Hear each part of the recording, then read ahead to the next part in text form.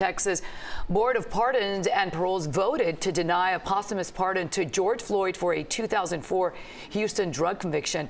The office said Floyd's arresting officer Gerald Goines of manufactured, quote, the existence of confidential inf informants to bolster his case against innocent defendants. Floyd's family can reapply for a pardon in two years.